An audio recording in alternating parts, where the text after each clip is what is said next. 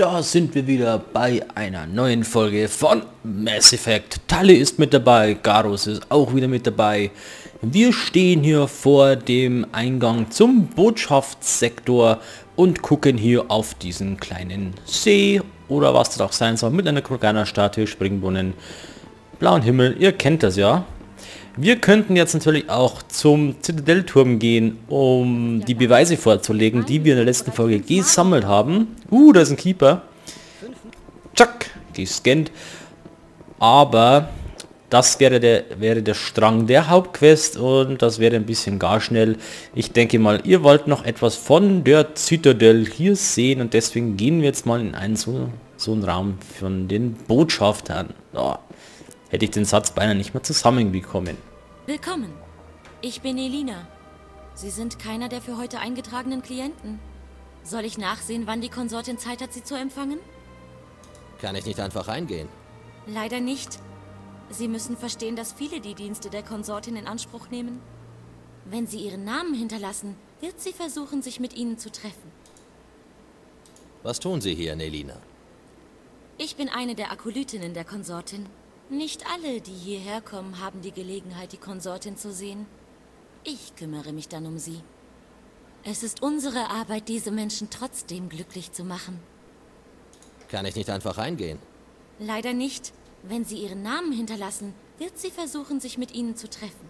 Commander Shepard, ich gehöre zur Allianz Navy. Großartig.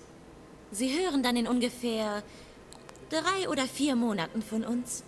Was? Drei oder vier Monaten? Das kann doch nicht ernst sein, oder? Eine so lange Wartezeit ist nicht akzeptabel. das kann ich nicht beurteilen. Ich notiere Ihren Namen, wir melden uns dann bei Ihnen. Kann ich noch etwas für Sie tun? Ich bin hier fertig. Ich hoffe, Sie bald wieder begrüßen zu dürfen. Es ist uns immer eine Freude. Nelina. Ja, Shaira? Bitte Commander Shepard zu mir hoch. Ich wünsche ihn zu sprechen. Ja, natürlich, Herrin. Oh la la. Sprechstunde mit der Lehrerin.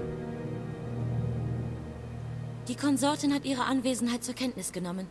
Sie wünscht sie jetzt zu sehen. Aber warum? Ich dachte erst in drei, vier Monaten. Warum will sie mich sprechen? Das weiß ich nicht. Das müssen Sie sie schon selber fragen. Gehen Sie einfach nach oben. Sie erwartet Sie dort. Tja, da bin ich mal gespannt, was die von uns will. Erst heißt es drei, vier Monaten. Ich weiß überhaupt nicht, was das überhaupt für ein Ort sein soll hier. Das macht mir irgendwie Angst. Naja, zumindest gibt es beleuchtete Stufen. Kleinen Gemüsegarten hier vor der Tür und dann gucken wir doch mal hier rein. Das ist nah genug, Commander. Ich habe seit Ihrer Ankunft hier auf Zitadelle viel über Sie gehört. Ich mag es nicht, wenn man mir nachspioniert. Verzeihen Sie, Commander. Ich habe es mir zur Aufgabe gemacht, zu wissen, wann wichtige Leute auf der Station eintreffen. Viele von ihnen werden zu Klienten. Aber deswegen habe ich Sie nicht hergebeten.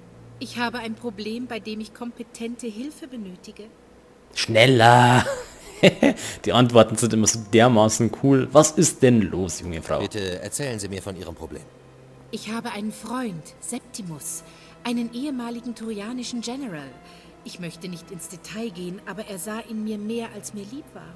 Wir haben uns gestritten. Jetzt betrinkt er sich den ganzen Tag in Koras Nest und erzählt Lügen über mich. Wenn Sie als Soldat mit ihm reden könnten, würde er Ihnen vielleicht zuhören und es dann sein lassen.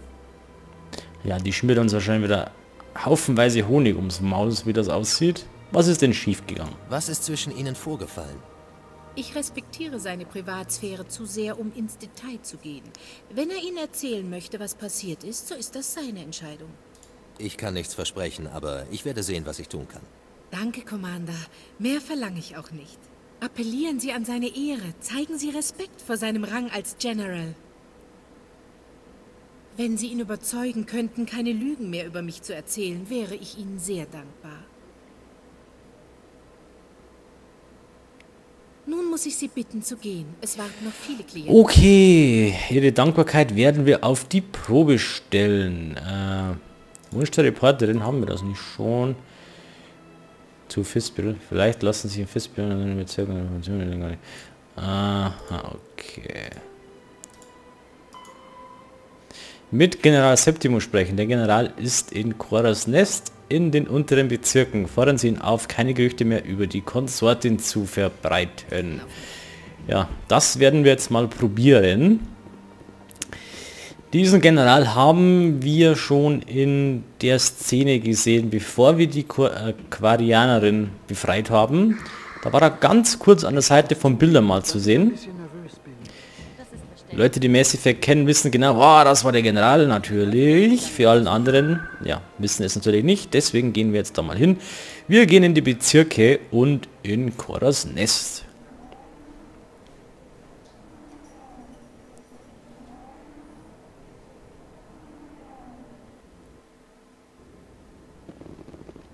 Ich habe übrigens auch diese ganzen Hilfetexte ausgeschaltet, denn die haben eigentlich nur gestört, wie ich finde.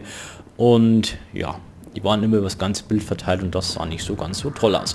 So, bevor wir jetzt hier reingehen, gehen wir nochmal in Fists Büro. Denn da ist ja noch diese eine Quest offen für diese Reporterin. Da können wir anscheinend noch Beweise sammeln. Beziehungsweise muss hier noch irgendwo etwas drin sein, denn ich habe noch einen Marker auf der Minimap. Und da schauen wir doch mal. Ja, da liegt eine optische Speicherdisk, die ist sogar ziemlich groß. Da hat sich unser Tagebuch aktualisiert. Informationen liefern. Die Informationen aus Fists Versteck helfen Miss Wong bei ihrer Story über die Korruption. Bringen Sie, bringen Sie sie zu ihr in den oberen Bezirk. Ja, können wir machen, müssen wir aber nicht machen. Ich glaube, ich habe ja gesagt, sie soll ihre Arbeit selber machen, aber Gucken wir mal. Vielleicht ist unser Shepard nach dieser Mission auch so gut gelaunt, dass er ihr diese komische Disk gibt. Wenn nicht, dann eben nicht. So, hier sitzt der gute General Septimus. Ja. Commander, äh, was wollen Sie? Ja, hast du Probleme? Was belastet Sie, General? Ich habe schon viele schreckliche Dinge gesehen. Es gibt in der ganzen Galaxis nur eine Frau, die mir helfen kann, sie zu vergessen. Dies ist erbärmlich. Wie kann eine Frau sie in diesen Zustand versetzen? Weil sie mich abgewiesen hat. Mich, Septimus Oraka, General der Turianischen Flotte. Ist sie das wirklich wert? Es muss doch andere Frauen geben. Ich will aber keine andere Frau. Ich will sie. Und nur sie allein. Hören Sie, ich weiß zu schätzen, was Sie da tun. Aber sie verschwenden ihre Zeit. Hm, ich werde nicht gehen. Sie müssen wie ein General handeln, wenn Sie das überwinden wollen. Ich habe mein ganzes Leben wie ein General gehandelt. Wo hat mich das hingeführt? Nein, diese Zeit ist vorüber. Ich bin, was ich bin. Ein müder, einsamer, erschöpfter Soldat. Sie sind ein verdammter General. Hören Sie auf zu jammern. Ha! Sie haben Mumm. Es gibt in der ganzen Galaxis nur fünf Leute, die so mit mir reden würden. Denken Sie, das wäre leicht, sich zusammenzureißen und wie ein General zu benehmen? Es könnte nicht schaden. Hm, vielleicht haben Sie recht, Commander. Shaira ist die Mühe wert. Auch wenn sie mich nicht zurückhaben will. Das ist kein Ort für jemanden Ihres Ranges, General. In Ordnung, ich gehe zu ihr. Nachdem ich kalt geduscht habe. Ziemlich lange. Sie sind ein kluges Köpfchen. Hätten Sie Interesse, ein paar Credits zu verdienen? Was soll ich für Sie tun? Es gibt da einen Elcor-Diplomaten, der glaubt, Shaira hätte seine Geheimnisse verraten. Warum sollte er so etwas denken? Weil ich es ihm gesagt habe. Sie müssen ihm sagen, wie es wirklich ist. Wieso denken Sie, er würde mir glauben? Sie bringen ihm Beweise. Nehmen Sie dieses Datenpad. Da steht, wo ich meine Informationen her habe. Es wird Shaira entlasten und den Elcor überzeugen. Wem bringe ich es und wo ist er? Sein Name ist Xeltan. Er ist ein Elcor-Diplomat. Er ist drüben in der Botschaft und beschwert sich über Shaira. Gut. Auf Soldaten, die wie Soldaten handeln. Danke, Commander. Wissen Sie, Sie würden eines Tages selbst einen guten General abgeben. Ja, da ist er schon wieder weg. Da haben wir ihn sogar überzeugt. Allerdings müssen wir uns jetzt noch mit einem kleinen Botengang herumschlagen, denn der gute General hat uns den Auftrag gegeben, wieder etwas klarzustellen, was er ja so ein bisschen in den Sand gesetzt hat, beziehungsweise Lügen verbreitet hat über seine tolle Shaira. So, wir müssen jetzt einen Elcor-Diplomaten finden. Äh, Bezirke. Nein. Dann müssen wir ins Präsidium. Nämlich zur Botschaft. Wo ist denn die Botschaft? Hier ist die Botschaft. Und diese Elko-Viecher sind, ja, ich weiß nicht, wie ich sagen soll, am besten seht ihr euch das selber an, denn die reden sehr, sehr, sehr, sehr komisch. Auch für Aliens, also... Naja, ihr werdet es gleich sehen. Ich verrate jetzt noch nichts. Da strecke ich noch ein bisschen heraus über diese paar Türen. Und der müsste jetzt hier sein, normalerweise. Ja, Xeltan, genau, der hier. Bedauernd erklärend. Seid gegrüßt, Menschen Commander. Leider bin ich gerade beschäftigt und darf mich nicht ablenken lassen. Ich bin gekommen, um über Ihr kleines Problem zu reden. Neugier. Dann wissen Sie also etwas über die Konsortin und ihr Verhältnis zu mir? Es war ein Turianer namens Septimus, der ihr Geheimnis herausgefunden hat. Ungläubig. Ich kenne diesen Septimus. Er kann nichts von meinen Geheimnissen wissen. Er kann nur durch die Asari davon erfahren haben. Hier. Das sollte Beweis genug sein. Verwirrt seiend. Ich kann mir das nicht erklären. Wenn der Turianer das selbst herausgefunden hat, bedeutet dies, dass alle mein Geheimnis herausfinden könnten. Aber stellen Sie sicher, dass Shaira von jetzt an rausgehalten wird. Verpflichtet zustimmend. Es ist offensichtlich, dass die Konsortin keine Schuld trifft. Erschreckte Erkenntnis. Ich muss mit der Konsortin sprechen. Sie wird sehr verärgert über mein Handeln sein, nervös entschuldigend. Entschuldigen Sie mich, Mensch. Ich muss jetzt gehen. Bis dann. Auf Wiedersehen, Menschen Commander. Sie haben mir sehr geholfen, Commander. Zustimmend. Sehen Sie denn, nicht alle Menschen sind so, wie Sie behaupten.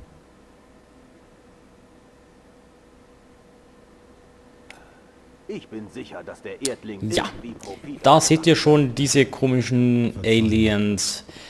Äh, zeigen keine Emotionen oder haben keine Emotionen in ihrer Stimme. Sie sagen einfach, welche Emotion sie eigentlich gerade ausdrücken wollen, wie eben verwirrend oder nervös oder so weiter. Deswegen sind die Gespräche mit den Kerlchen immer ein bisschen langatmig und doch ein bisschen verwirrend. So, jetzt muss ich mal ganz kurz überlegen. Ich müsste jetzt eigentlich zurück zu Shaira. Aber wir haben ja noch die... beziehungsweise den Hinweis bekommen von jemandem, ein paar Folgen zuvor, dass es hier noch einen Shadow Broker gibt, der mit Informationen handelt und einen gewissen Balorphon, mit dem wir reden sollten, falls wir etwas wissen wollen. Allerdings weiß ich jetzt nicht mehr, wo sich der befindet. Denn wie ihr seht, ist die Zitadelle ziemlich, ziemlich groß. Hm, da sind wir wieder hier. Ne, da geht nichts. Da komme ich wieder... Da ist wieder dieser Prediger, den kennen wir auch schon. Dem habe ich ja 150 Credits zugesteckt, damit er seine Evangelikatserlaubnis, ja, ich habe das Wort sogar jetzt gelernt, kaufen kann, damit er hier frei predigen kann. Ja, genau. Und ich glaube, hier geht es zu diesem Shadow-Typen. Ja, müsste es sogar. Ich bin ziemlich positiv. Genau, das ist der kleine, dieser Balafon, aber da gehe ich jetzt auch noch nicht hin. Denn ich will jetzt erstmal hier hinschauen, denn das müsste, glaube ich, ein Shop sein. Hallo, Wesen menschlicher Abstammung. Dieser ist begeistert, Sie hier in seinem Emporium begrüßen zu dürfen. Wer sind Sie? Dieser trägt den Namen Dallaninder, aber viele sagen einfach Dallin zu ihm. Bitte lassen Sie sich alle Zeit der Galaxie, um diese exquisiten Waren zu betrachten, die dieser anbietet. Zeigen Sie mir bitte Ihre Waren. Oh, es ist diesem eine große Ehre, Wesen menschlicher Abstammung. Es wird Sie nicht enttäuschen. So, jetzt kann ich auswählen, was ich sehen will. Will ich Standardobjekte sehen, Upgrades oder nichtmenschliche Panzerungen? Mir geht es jetzt um die nichtmenschlichen Panzerungen. Denn ich habe ja zwei nichtmenschliche Charaktere mit dabei. So. Allerdings will ich jetzt zuerst etwas verkaufen. Nämlich diese leichte Rüstung. Die brauche ich nämlich überhaupt nicht. Ach ja, Doppelklick. Das raus, das raus. Schrotflinte raus, das raus. Wir verkaufen jetzt einfach mal wild drauf los, denn wir brauchen das alles nicht, bis auf die Upgrades, die behalten wir natürlich, denn das schadet eigentlich nie, wenn man mal so ein bisschen mehr Upgrades dabei hat, genau. Jetzt sehen wir mittelschwere Rüstung für Turianer, Turianer, Turianer und nur Turianer, was anderes gibt es hier nicht. Äh, ja, die unterscheiden sich jetzt eigentlich nur vom Aussehen wahrscheinlich. Hier können wir vergleichen. Wo ist denn Garus? Hier ist Garus. Oh, und die ist um einiges besser. Die schlechter. Die ist auch schle schlechter. Deswegen, deswegen kaufen wir diese Silverback-Rüstung für Garus. Dann habe ich da noch 901 Credit übrig. Dafür bekomme ich nicht mal einen Luftballon.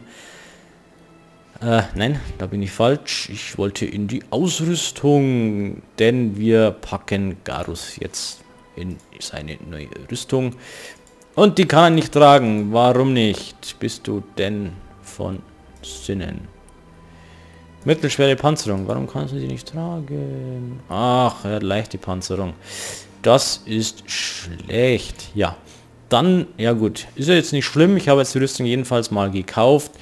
Äh, auf jeden Fall muss ich beim Garus am nächsten Level ab mal ein paar Punkte in schwere Rüstungen investieren dann dürfte das wahrscheinlich etwas besser laufen mit ihm. So, und ich muss mich jetzt auch schon wieder ausklinken aus diesem ganzen Science-Fiction-Gedöns, denn die Zeit ist um und ich sage wie immer, bis dann und so long.